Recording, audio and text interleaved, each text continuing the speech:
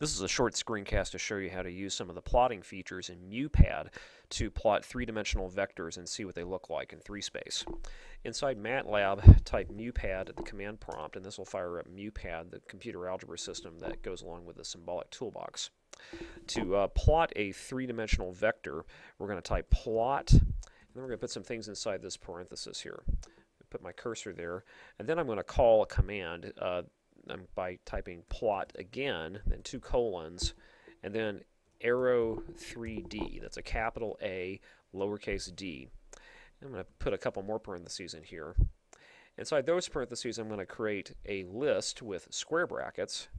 And inside that square bracket list, I'm going to put the components of my vector. So if I were going to plot the three-dimensional vector 1, 2, negative 1, I would go inside here and 1, 2, negative 1.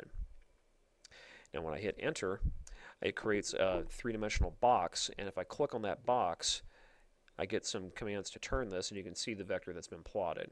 And here's the origin up here at 0, 0, 0, and there's the arrowhead down at the base of it.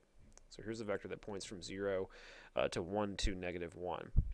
Now if I wanted to plot two vectors and see uh, perhaps what their span is, I would just add another one of these little plot objects in here.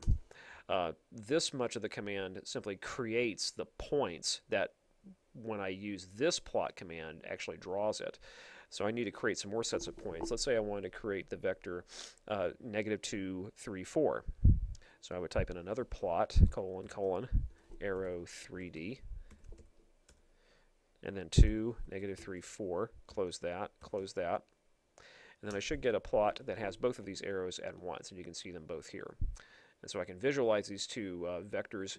They both have their uh, the, the, the tail of the arrow there is at the origin.